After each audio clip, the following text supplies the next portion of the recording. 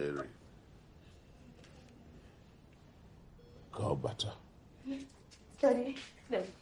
Daddy, please, I'm sorry. Don't call me daddy.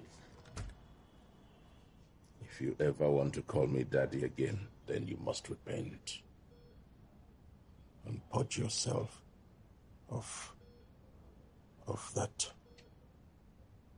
iniquity.